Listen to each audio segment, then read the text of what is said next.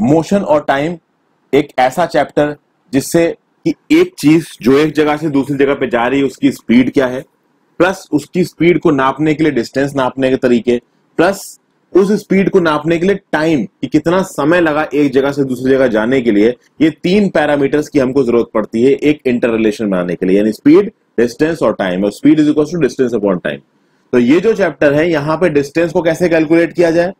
Plus time को कैसे calculate किया जाए? और आज की डेट में ही नहीं, पुराने जमाने में टाइम को कैसे कैलकुलेट किया जाता था, इसके बहुत सारे अलग अलग तरीके हैं, जो कि मैं आपको इस चैप्टर में दिखाऊँगा। तो ये चैप्टर थर्टीन है, क्लास सेवेंथ की साइंस की किताब का, जिसका टाइटल है मोशन एंड टाइम। काफ़ी कुछ आपको पता चलेगा, फ्रेंड्स, फिर अलग अलग तरीके के जो ग्राफ्स होते हैं, जैसे कि डिस्टेंस टाइम ग्राफ्स होता है, बार ग्राफ्स होता है, पाई चार्ट्स होते हैं, इनके बारे में हल्का फुल्का मैं आपको एक आइडिया दूँगा।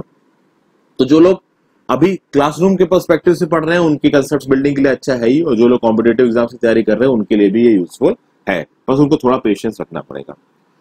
शुरू करने से पहले बता दो फ्रेंड्स आप एनसीआरटी e की बुक्स को नीचे डाउनलोड कर सकते हैं लिंक से और शुरू करने से पहले इस वीडियो को लाइक ज़रूर कर दीजिए।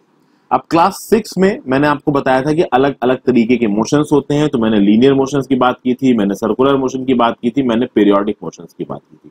ये तीन तरीके के बेसिक मोशन होते हैं। तो ये मोशन आपको याद होने चाहिए अगर आपने क्लास सिक्स की वीडियोस को ढंग से देखा या क्लास सिक्स की किताबों को सही से पढ़ा है तो। अब कुछ एग्जाम्पल्स हैं अलग अलग टाइप के मोशन के आपको आइडेंटिफाई करना है कि एग्जाम्पल्स कौन से तरीके के मोशन का एग्ज़ाम्पल जैसे सोल्जर्स मार्च पास्ट कर रहे हैं। तो रिपब्लिक डे परेड होती है इंडिया में फ्रेंड्स राजपथ पे तो आपने उस परेड को देखा होगा। वहाँ पर जो सोल्जर्स मार्च पास्ट करते हैं तो ऑब्वियसली बात है वो एक स्ट्रेट लाइन में मार्च पास करते हैं। बुलक कार जो कि रोड पे चल रही है। तो बुलक कार्ड के जो पहिए हैं, वो तो भाई सर्कुलर मोशन में घूम रहे हैं, लेकिन गोलक कार्ड सीधे स्ट्रेट लाइन में चल रही है। अब यहाँ पे hands of an athlete in a race आप देखिए, जब एक आदमी दौड़ता है, आप खुद दौड़िए तो आपके हाथ पहले थोड़ा आगे जाएँगे, फिर पीछे आएँगे, फिर आगे जाएँगे, फिर पीछे आएँगे। क्या ये स्ट्रेट मोशन है? लग नहीं रहा। क्या ये सर्कुलर मोशन है? लग नहीं रहा। क्या ये पीरियोडिक मोशन है? सोच के देखिए। और अपने दोस्तों के साथ डिस्कस करिए। फिर बाइसिकल का जो पेडल होता है पेडल कौन से मोशन में चलता है फ्रेंड्स ऑब्वियसली बात है सर्कुलर मोशन में चलेगा। ये तो बिल्कुल नॉर्मल सी बात हो गई। उसी तरीके से motion of earth around the sun ये ऑब्वियसली बात देखिए इलेप्टिकल ऑर्डर में जाता है इलेप्टिकल ऑर्बिट में जाता है आपका सन आपका अर्थ सन के चारों तरफ़ बट यहाँ पे आप उसको सर्कुलर मोशन ही बोलोगे। स्विंग का मोशन पीरियोडिक होगा पेंडुलम का मोशन पीरियोडिक होगा। और hands of an athlete in a race भी पीरियोडिक ही लग रहा है। कंफर्म करिए, आपको कमेंट सेक्शन में कई लोगों से बात करने के बाद। जब तक ये चैप्टर खत्म होगा, तब तक ये सारे कंसेप्ट आपके दिमाग में क्लियर हो जाएँगे। अब देखिए, हम लोग अपने नॉर्मल जब चीज़ों को देखते हैं अपने चारों तरफ़ तो उन चीज़ों की कंपेरेटिवनेस को देख के हम लोग ये आइडेंटिफाई कर लेते हैं आसानी से कि भाई कौन सी चीज़ स्लो है और कौन सी चीज़ फास्ट है। कैसे? कि जैसे कि आपने, आपके दो भाई हैं और आपने एक भाई से बोला कि जाके नीचे से दूध ले आओ तो एक भाई नीचे से दूध लेने गया और वापस आया तो उसको लगे दस मिनट। एक गया और नीचे से दूध पाँच मिनट में लेके आ गया तो ऑब्वियसली बात है दूसरे भाई की स्पीड फास्ट है। तो यहाँ पे जो आपने ऑब्जेक्ट्स की स्लोनेस और फास्टनेस की जो आपने पैमाना तय किया, वो आपने कंपैरिजन में किया कि एक भाई दूसरे भाई से तेज़ी से खाना लेके आ रहा है। ठीक है? तो यहाँ पे हमको ये समझना है कि आप स्लो और फास्ट को डिसाइड करोगे, इसके बेस क्या होगा, इसका रेफरेंस क्या होगा। अब उसको व्हीकल्स के टर्म्स में देख लेते हैं। कुछ व्हीकल तेज चलते हैं, कुछ व्हीकल धीमे चलते हैं। एक ही व्हीकल एक समय पे तेज हो सकता है, एक समय पे धीमे हो सकता है। तो आप एक लिस्ट बनाइए जिसमें ऐसे दस ऑब्जेक्ट्स का नाम लिखिए जो कि स्ट्रेट पाथ में चलते हैं। और फिर इनके मोशन को स्लो और फास्ट में आइडेंटिफाई करिए। ये काफ़ी एक अच्छा काम है। आपको बहुत सारे ऑब्जेक्ट्स ऐसे चारों तरफ़ मिल जाएँगे। और आप ये कैसे पता करते हो? वही मेरा सवाल कि एक ऑब्जेक्ट स्लो है या एक ऑब्जेक्ट फास्ट है। मान लीजिए आप एक किसी रेफरेंस पॉइंट में खड़े हो और आपके सामने सड़क है और सड़क पे कुछ व्हीकल्स चल रहे हैं। तो अगर आप एक मिनिमम अमाउंट तक उन व्हीकल्स को देख पाते हो, कुछ डिस्टेंस तक तो आप ये देख पाओगे कि भाई उन व्हीकल्स में सबसे तेज कौन सा है और सबसे धीमा कौन सा है। अब यही पे हम लोग एक एक्टिविटी करते हैं इसके थ्रू एक्टिविटी 13.1 है और उसके लिए ये दो फिगर्स आपको नज़र आ रहे हैं। 13.1 फिगर नज़र आ रहा है और एक 13.2 फिगर्स नज़र आ रहा है। आपको नज़र आएगा कि फ्रेंड्स दोनों में जो गाड़ियाँ हैं वो एक ही हैं। एक्टिविटी क्या बोलती है? कि 13.1 और 13.2 दोनों के व्हीकल्स को देखिए। अब 13.1 पहले वाली पोजीशन है और उसके बाद वाली पोजीशन है 13.2 तो आप देखेंगे कि भैया पोजीशन बहुत सारे व्हीकल्स की बदल जाएगी। आपको करना क्या है? Which vehicle is moving the fastest of all which vehicle is among them is moving the slowest of all तो आपको ये मान पता करना है कि भैया कौन सा व्हीकल सबसे तेज चल रहा है और कौन सा व्हीकल सबसे धीमे चल रहा है। तो दोनों फ़ोटो को देखते हैं फ्रेंड्स ये फ़ोटो आपको नज़र आ रही है यहाँ पे। एक लाल वाली गाड़ी को देखते हैं तो ये लाल वाली गाड़ी बहुत ज़्यादा डिस्टेंस में इसको फ़र्क नहीं आ रहा है। इस ग्रीन वाली गाड़ी ग्रीन वाली गाड़ी में भी डिस्टेंस का फ़र्क नहीं आ रहा है। ये गाड़ी इसमें भी फ़र्क नहीं आया। जो ग्रीन वाली गाड़ी है, वो यहाँ थी और इस फ़ोटो में यहाँ पहुँच गई। नीली वाली गाड़ी पहले यहाँ थी, थोड़ा आगे आ गई है। ठीक है? और सफ़ेद वाली गाड़ी, सफ़ेद वाली गाड़ी की पोजीशन भी ज़्यादा बदली नहीं है। तो आप समझ सकते हैं कि एक ग्रीन वाली जो गाड़ी है, उसकी पोजीशन सबसे ज़्यादा तेज है यहाँ पे। तो इस फ़ोटोज़ में आपको समझ में आ रहा है कि जो ग्रीन वाली गाड़ी है, उसकी पोजीशन सारे कार में, उसकी स्पीड सारे कारों में सबसे ज़्यादा है। सबसे स्लो किसकी है? तो वो आपके परसेप्शन पे आप ये डिसाइड करिए कि कौन सी गाड़ी की स्पीड सबसे स्लो है। थोड़ा सा मुश्किल होगा यहाँ डिसाइड करने में, क्योंकि एग्जैक्ट डिस्टेंसेस देख नहीं रहे हैं और कुछ गाड़ियाँ बहुत कम मूव करी हैं। तो देखिए the distance moved by objects in given interval of time can help us to decide which one is faster और स्लो यानी एक अमाउंट ऑफ़ टाइम में, एक इंटरवल ऑफ़ टाइम में अलग अलग ऑब्जेक्ट्स ने कितना डिस्टेंस ट्रेवल किया है, इस बेस पे आप ये बता सकते हो कि कौन सा ऑब्जेक्ट तेज था और कौन सा ऑब्जेक्ट स्लो था।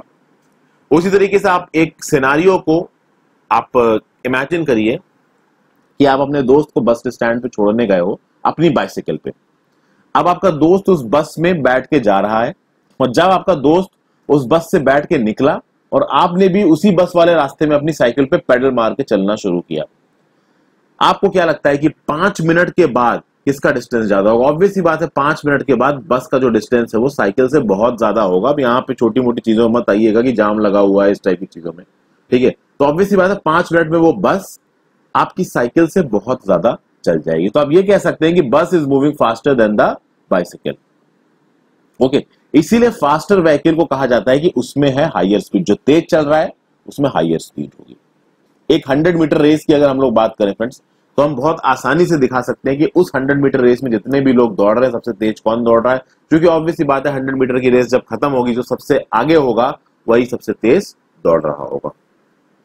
तो स्पीड नाम के शब्द से आप ठीक ठाक अमाउंट में एक्वेंटेड है। एक और शब्द होता है वेलोसिटी वेलोसिटी और स्पीड में क्या फ़र्क होता है? आपको पता है? क्या स्पीड एक स्केलर क्वांटिटी और वेलोसिटी एक वेक्टर क्वांटिटी है? स्केलर क्वांटिटी और वेक्टर क्वांटिटीज में क्या फ़र्क है? क्या डायरेक्शन का कुछ लेना देना है इससे? ये बस मैंने एक बेस बनाया है जो कि आगे की क्लासेस में क्लियर होगा। अब स्पीड पे आ जाते हैं।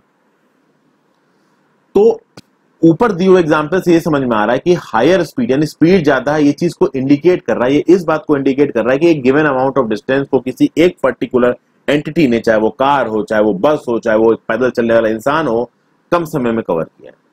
तो एक लार्जर डिस्टेंस को जब आपने कम समय में कवर किया, दूसरों के कंपैरिजन में तो बोला गया कि स्पीड ज़्यादा है।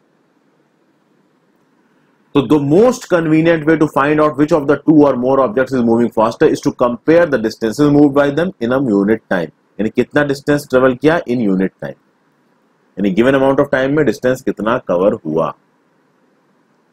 So if we know the distance covered by two buses in one hour we can tell which one is faster we call the distance covered by the object in unit time as speed of the object ये सब मैं आपको बता चुका हूँ।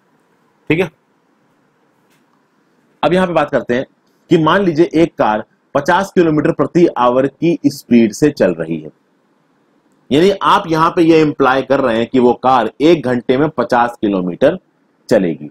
लेकिन क्या कभी ऐसा होता है कि आपकी कार एक स्पीड पे बहुत लंबे डिस्टेंस के लिए चल रही है? आपके फादर ऑफ़िस जाते होंगे या खुद कभी आप बाइक से कहीं गए हो?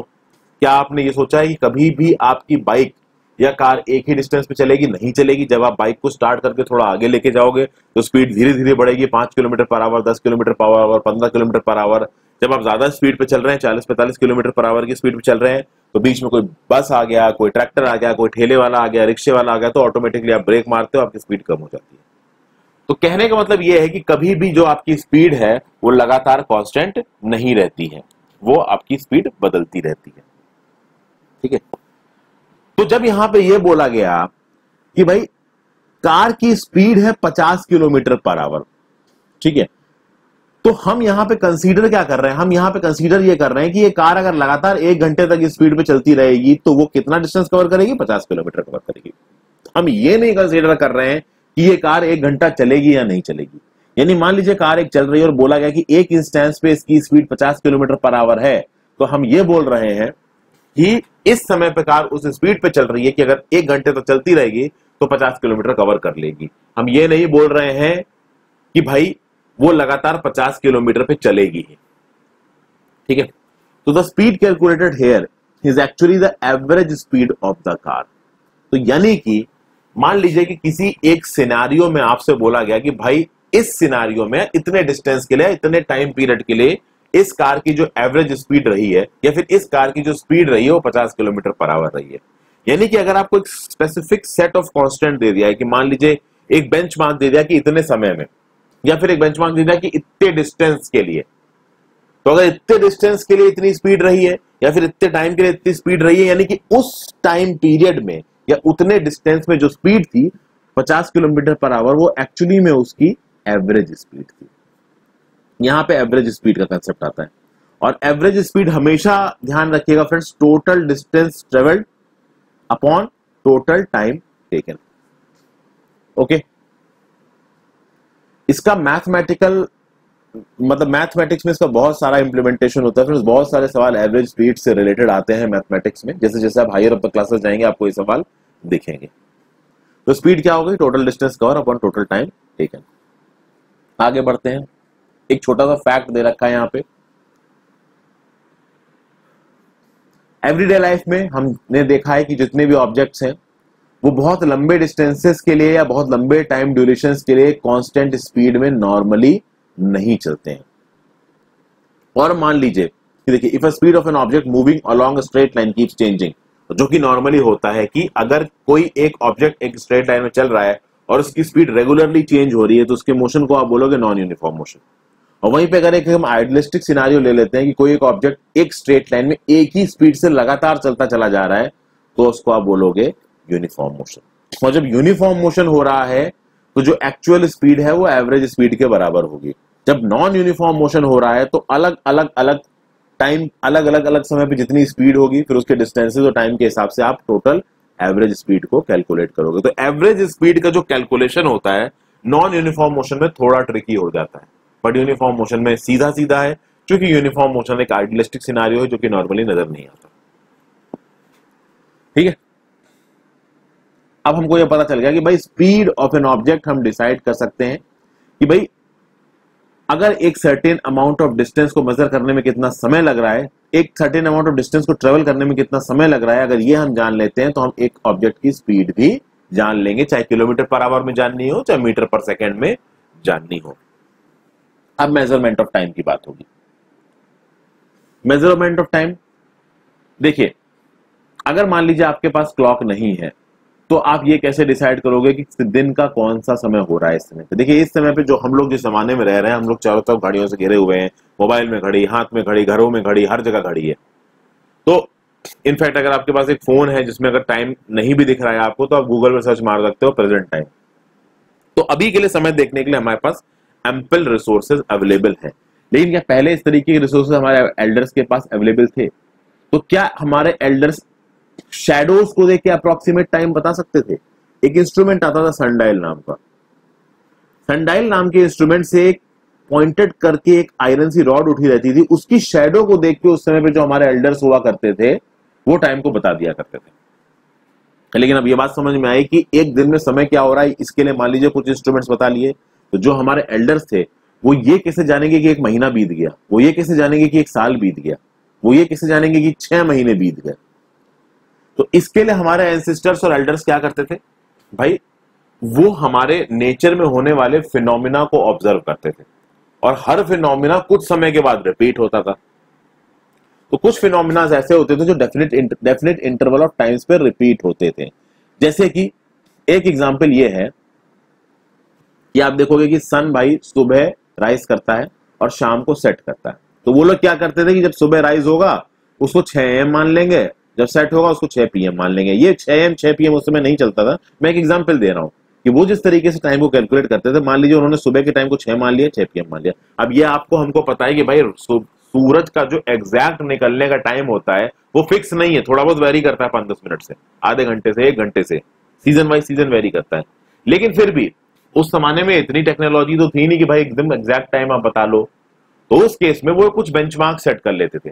तो भाई सनराइज किया तो मान लिया छह एम जब सन सेट किया तो मान लीजिए छह पीएम और एक बार सनराइज किया, से लेके अगले सनराइज तक क्या हो गया? पूरा एक दिन हो गया। तो भाई time between one sunrise to next was called a day similarly अगर एक मंथ को मेजर करना हो तो कैसे मेजर करेंगे? भाई न्यू मून आया। न्यू मून के बारे में मैंने बहुत बता रखा है, अपने जोग्राफी वीडियो में, वहाँ जाके देखिए। और फिर अगला न्यू मून जब आएगा तो एक न्यू मून से न्यू मून के बीच का जो समय होगा, वो होगा एक मंथ ऐसा क्यों होता है? इसके बारे में क्लास सिक्स साइंस में बहुत अच्छी तरीके से डिस्कस किया है कि भाई, एक न्यू मून हमको एक महीने में एक बार ही क्यों दिखता है? इसके बारे में पता करने की कोशिश कीजिए। नहीं अगर आपको मालूम है, जाके मेरी पुरानी वीडियोस को देखिए या गूगल पर सर्च मारिए। अब देखिए, एक ईयर को कैसे पता करते थे?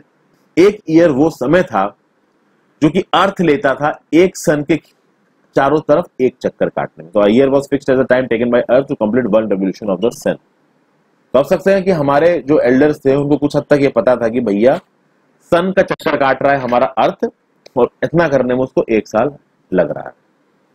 तो कुछ इस तरीके की चीज़ों को मेथडोलॉजीज को यूज़ करके पुराने जमाने में जो हेब्रा एल्डर्स थे, वो टाइम को पता करते थे। अब देखिए, आज की डेट में टेक्नोलॉजी इतनी ज़्यादा बढ़ गई है कि हमको भैया इंटरवल्स मेजर करने हैं और शॉर्टर देना डे इंटरवल्स मेजर करने होते हैं। तो हमने देखा भाई क्लॉक्स और वॉचेस है। आपको एक इंटरव्यू देना है इंटरव्यू ने टाइम दिया कि भाई एग्जैक्ट साढ़े नौ बजे आपका इंटरव्यू शुरू होगा, आप नौ बज के दस मिनट पे ऑफ़िस में पहुँच जाइएगा। तो एक सेट टाइम आपको दे रखा है। ये सेट टाइम की रिक्वायरमेंट्स कौन पूरा करता है? क्लॉक्स वॉचेस ये कॉमन मेजरिंग डिवाइसेस हैं। ठीक है? अब कभी आपने सोचा है कि ये क्लॉक्स और वॉचेस टाइम को कैसे मेजर करती हैं? तो जो वर्किंग ऑफ़ क्लॉक्स है, थोड़ी सी कॉम्प्लेक्स होती है। लेकिन ये जो क्लॉक्स अपने टाइम को रेगुलरली बदलती रहती हैं, वो एक सिंपल सी चीज़ से बदलती है सिंपल मेथोडोलॉजी से बदलती है, वो होती है पीरियोडिक मोशन और one of the best examples of periodic motion is simple pendulum pendulum की बात हम यहाँ पे भी करेंगे पेंडुलम की बात मैंने वहाँ पे भी करी है। इस वॉल क्लॉक में भी नीचे की तरफ़ आपको एक पेंडुलम लटका नज़र आ रहा है, टन टन टन टन। पुराने जमाने में घरों में ऐसी वॉचेस हुआ करती थी। आज की डेट में हेरिटेज वॉचेस बन गई तो हो सकता है कहीं आपको दिख जाए। तो ये वॉल क्लॉक है अब ज़रूरी नहीं है कि वॉल क्लॉक के अंदर आपको ऐसे पेंडुलम नज़र आए कहीं कहीं केवल घड़ी नज़र आती है। ये टेबल क्लॉक है जो आपकी टेबल्स पर रखी रहती है, और ये डिजिटल क्लॉक है, इनका जमाना आज की डेट में चल रहा है। और यहाँ ये रहा आपका पेंडुलम दोस्तों। यहाँ पे पहले एक सीलिंग से पेंडुलम लटका हुआ है, और उसके बाद उस पेंडुलम की अलग अलग यहाँ पे पोजीशंस दिखा रखी है। तो 13.4 में सिंपल पेंडुलम और 13.4 बी में different positions of the bob of an oscillated system pendulum यानी ओ को अगर आपने ए पे ले जाके छोड़ दिया तो ए से बी जाएगा, फिर ए आएगा। फिर बी जाएगा, फिर ए आएगा। ये इसका हो जाएगा ऑसोलेशन ठीक है? तो सिंपल पेंडुलम कंसिस्ट ऑफ़ एक छोटी सी मेटलिक बॉल होगी, या फिर उस मेटलिक बॉल की जगह एक पीस ऑफ़ स्टोन होगा, जिसको एक रिजिड स्टैंड से आप एक थ्रेड से लटकाओगे। ऊपर आपको ये ये आपको रिजिड स्टैंड नज़र आ रहे हैं दोनों में, और ये थ्रेड नज़र आ रहे हैं। और नीचे ये बॉल कह लीजिए या स्टोन जो चाहे आप लटका सकते हो। इस मेटलिक बॉल को या स्टोन को आप बोलोगे बॉब ऑफ़ द पेंडुलम अब 13.4 ए में हमने देखा कि पेंडुलम बिल्कुल रुका हुआ है। अपनी मीन पोजीशन में है, हिल नहीं रहा है। अब अगर आप इस बॉब को थोड़ा सा एक जगह से हिला के छोड़ दो, और जब थोड़ा सा एक जगह हिला के आप छोड़ोगे तो छोड़ते वक्त आप इस बात का ध्यान रखना कि आप उसमें कोई एक्स्ट्रा फोर्स ना लगा रहे हो। बस वहाँ पे उस पोजीशन पे ले जाके आप छोड़ दीजिए। चाहे ए पोजीशन पे ले जाके छोड़ दीजिए, चाहे बी पोजीशन पे ले जाके छोड़ दीजिए। तो ओ पे आपने बॉल को पकड़ा ए तक खींच के लेके गए और ए पे आपने फ्रीली छोड़ा उसको, कोई धक्का नहीं मारा उसमें। और ये ऑसिलेशन आपका शुरू हो जाएगा यहाँ पे। ठीक है? तो जो टू एंड फ्रो मोशन होगा सिंपल पेंडुलम का, इसको एक पीरियोडिक मोशन बोलते हैं, इसको ऑसिलेटरी मोशन भी बोलते हैं। और एक ऑसिलेशन क्या होता है फ्रेंड्स यहाँ पे आपको ये समझना है। एक ऑसिलेशन क्या होगा? अब ये आप देखोगे कि ऑसिलेशन कहाँ से मेजर कर रहे हो।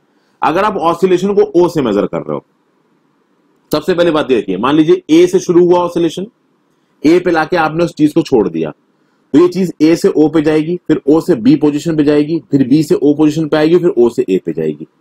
तो ये जो प्रक्रिया हुई जिसमें आपने ए से छोड़ा तो ए से बी पे गया और बी से वापस ए पे आया, इसको आप बोलोगे वन ऑसिलेशन समझ गए?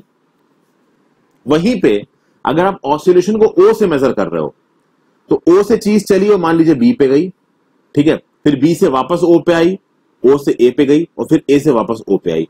तो अगर ओ के रिस्पेक्ट में मेजर कर रहे हो तो ये होगा एक ऑसिलेशन कि ओ से बी पे गया, फिर बी से ओ पे आया, फिर ओ से ए पे गया, फिर ए से ओ पे आया। वही चीज़ है कि अगर आप बी के रिस्पेक्ट में ऑसिलेशन को मेजर कर रहे हो तो बी से ओ पे गया ओ से ए पे गया, फिर ए से ओ पे आया, फिर ओ से बी पे आया तो ये एक ऑसिलेशन हो जाएगा। अगर आप रिस्पेक्ट अगर आप रेफरेंस बी को ले रहे हैं तो अलग अलग रेफरेंस में एक ऑसिलेशन कितना होगा, ये मैंने आपको यहाँ पे समझा दिया दोस्तों। ठीक है? और the time taken by the pendulum to complete one oscillation is called its time period यानी कि ये एक ऑसिलेशन करने में जितना समय लग रहा है इसको that is the time period of that particular pendulum अब आगे देखिए एक्टिविटी 13.2 देखते हैं। 13.4 ए फिगर में जैसे सिंपल पेंडुलम बताया, वैसे ही आप एक पेंडुलम बनाइए। एक थ्रेड ले लीजिए, जो कि नियरली एक मीटर का है। अगर आसपास में कोई फ़ैन हो तो फ़ैन को बंद कर लीजिए, क्योंकि फ़ैन की हवा से वो बॉब हिल सकता है। ठीक है? फिर बॉब ऑफ़ द पेंडुलम को बिल्कुल बीच में लटकने रहने दीजिए, और जहाँ पे वो बॉब ऑफ़ द पेंडुलम लटक रहा है, उसके जस्ट नीचे, सीधे नीचे जो ग्राउंड है, वहाँ पे आप एक मार्क लगा सकते हैं अपने मार्कर से।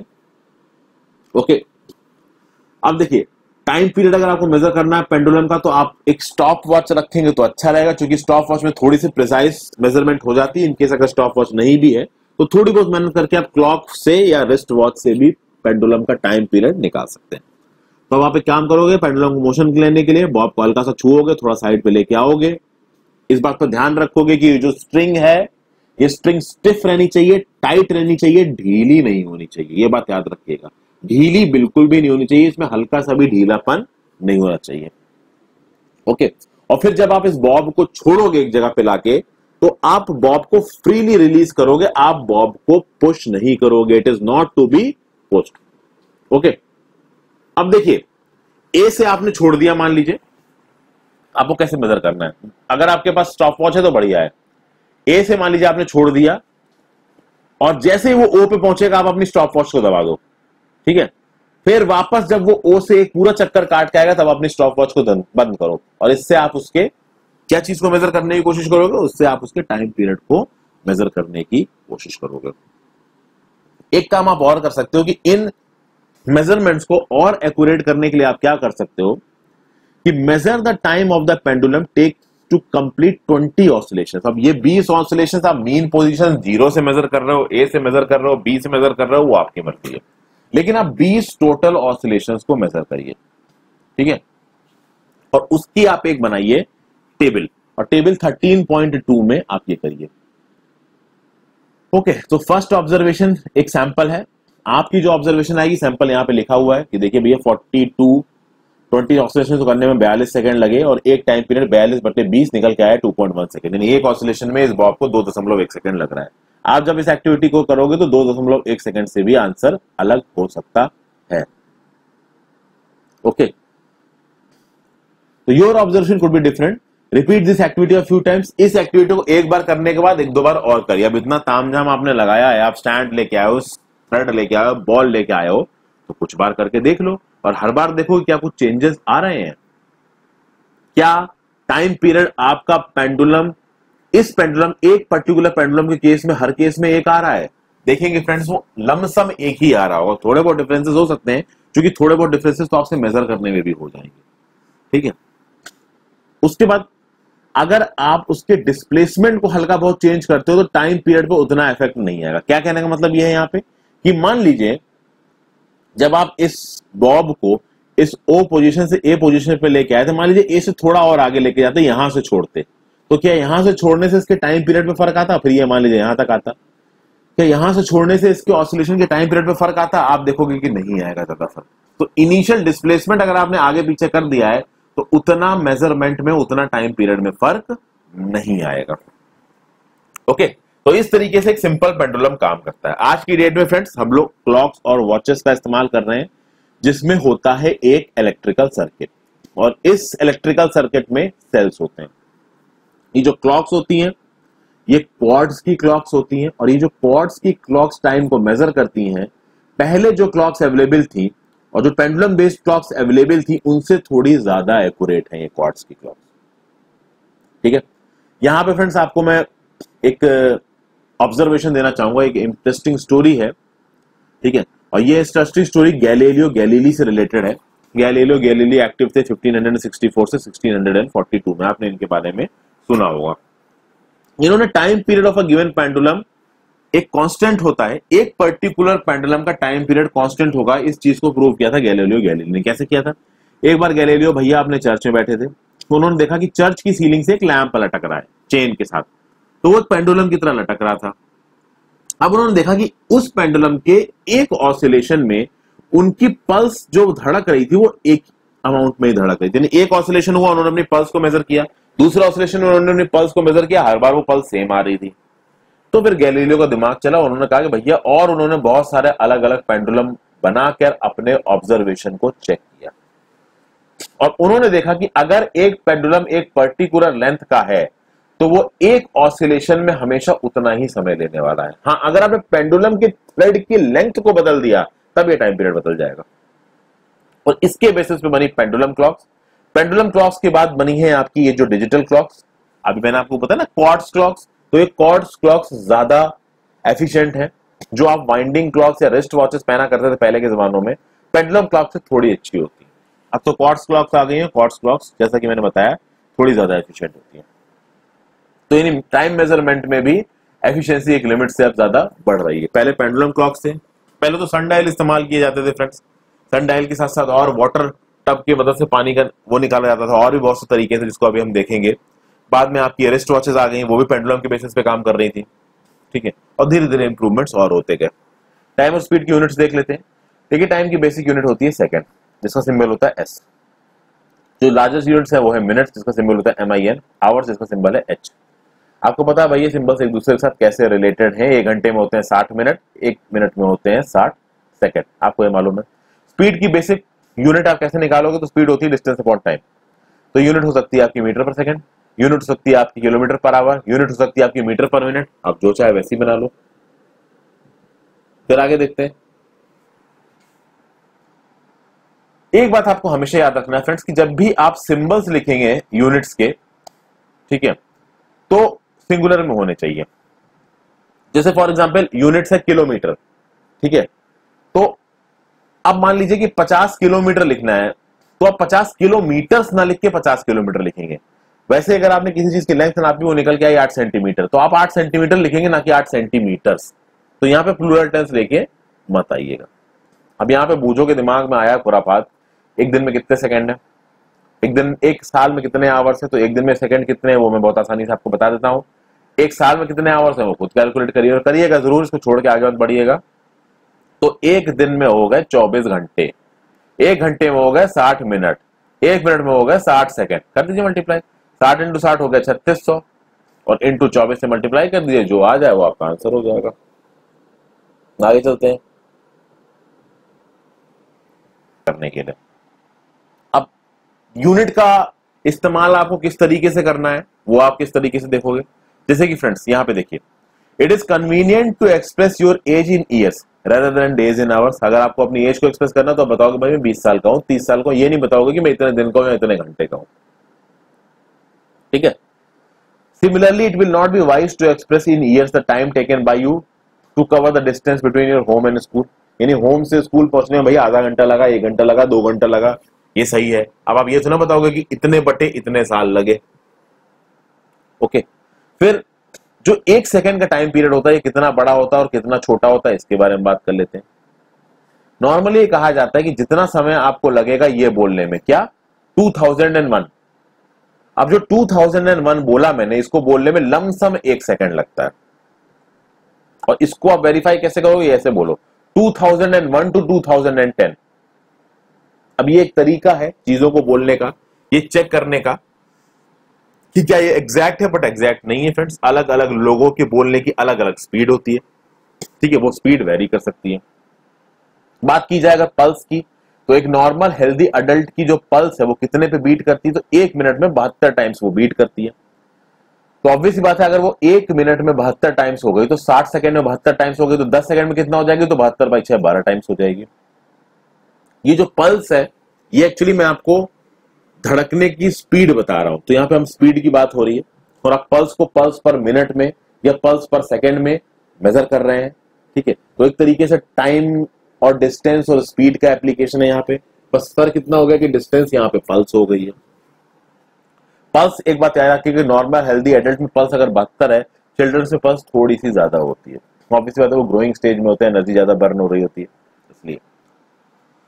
अब देखिए पहेली ने सोचा कि भैया जब पेंडुलम क्लॉक्स नहीं थी, तब टाइम कैसे मेजर किया जाता था? अब पहेली के दिमाग में अच्छे अच्छे आइडियाज़ आने शुरू किए और बहुत ज़रूरी है इस तरीके के आइडियाज़ लाने। पुराने जमाने में मेजरिंग डिवाइसेस यूज़ किए जाते थे। कैसे कैसे मेजरिंग डिवाइसेस थे फ्रेंड्स सन डायल्स हुआ करते थे वाटर क्लॉक्स हुआ करती थी सैंड क्लॉक्स हुआ करती थी। क्या होते हैं sundials water clock sand clock जरा देख लेते हैं एक बार। ये देखिए फ्रेंड्स ये है आपकी सैंड क्लॉक अब सैंड क्लॉक में क्या होगा कि देखिए, एक, दो खांचे बने हुए हैं और इन खांचों में छोटी छोटी छोटी सी सैंड दूसरे खांचे में जा रही है। जब एक खांचे की सैंड पूरे दूसरे खांचे में निकल जाएगी तो भाई एक पर्टिकुलर अमाउंट ऑफ़ टाइम बीत गया, फिर आप इसको उल्टा करके रख दोगे। तो इस तरीके की सैंड क्लॉक्स पहले इस्तेमाल की जाती है। ये एक वाटर क्लॉक है फ्रेंड्स एंशियंट इजिप्ट में इसको इस्तेमाल किया जाता था। बाहर की तरफ़ देखिए, इसमें कुछ इंप्रेशन भी बने हुए हैं। इस वाटर क्लॉक के बेस में एक छोटा सा गड्ढा होता था और इस वाटर क्लॉक को पानी से भर के रख दिया जाता था। और कहा जाता था कि जितनी देर में इस गड्ढे से पूरा का पूरा पानी निकल जाएगा, उतनी देर में इतना अमाउंट ऑफ़ टाइम बीत गया है, ऐसा बोला जाता था। और वहीं पे देखिए सनडाइल्स इन सनडाइल्स को पूरी दुनिया भर में इस्तेमाल किया जाता था। इन सनडाइल्स के आउटर एंड में देखिए तो कि आपको टाइम की नोटेशन नज़र आ रही है रोमन स्क्रिप्ट में।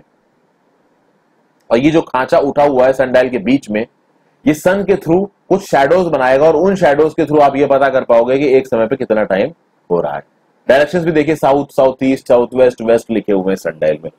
तो इस तरीके के मेजरिंग इंस्ट्रूमेंट्स इस्तेमाल किए जाते थे। देखिए सनडाइल की जो फंक्शनिंग है ना, जो मेज़रमेंट है ना टाइम का बड़ा ही इंटरेस्टिंग है।